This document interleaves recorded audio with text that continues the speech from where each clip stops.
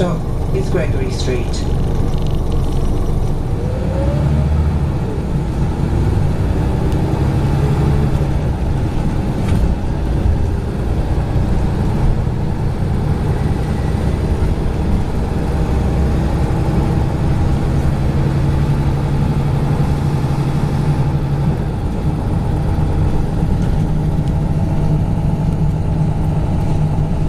We now approaching QMC Abbey Street.